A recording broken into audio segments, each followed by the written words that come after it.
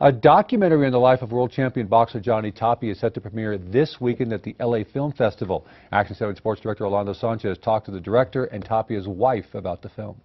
It's been just over a year since the passing of one of New Mexico's most iconic athletes, and his story transcends far beyond the boxing ring.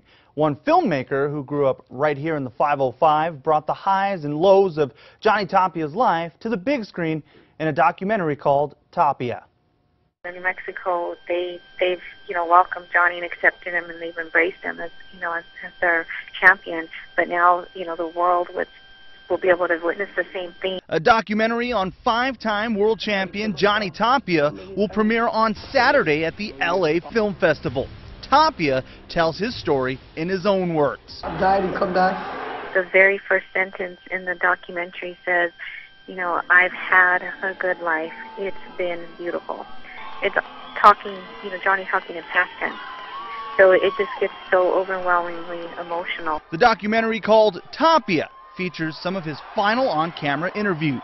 It's a very powerful story, um, a lot of emotion in the documentary because, like I said, no one knew at the time it was his last year. When Tapia died of heart disease and high blood pressure, the film's director, Eddie Alcazar, couldn't believe it. You know, he's almost invincible through all these different you know things that he encountered in his life.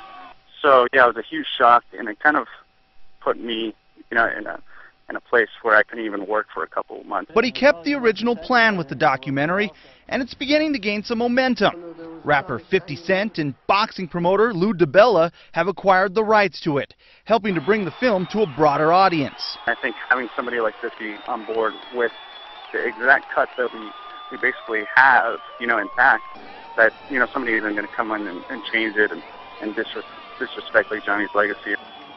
Film director Eddie Alcazar says the plan is to get the film to New Mexico by the end of the year, but he doesn't have an exact date. But the film actually sold out in six hours, so That's pretty amazing. neat. A lot of people always said, you know, his life would make a great movie once he's gone. They just had no idea that they'd be making the movie now because they had no idea he'd be dying. Was it 45, 46 Yeah, 45, 45 years old. Unbelievable. And the director, I mean, kind of expressed that same sentiment. Right. Says he couldn't work for a while. Yeah, Mhm. sad.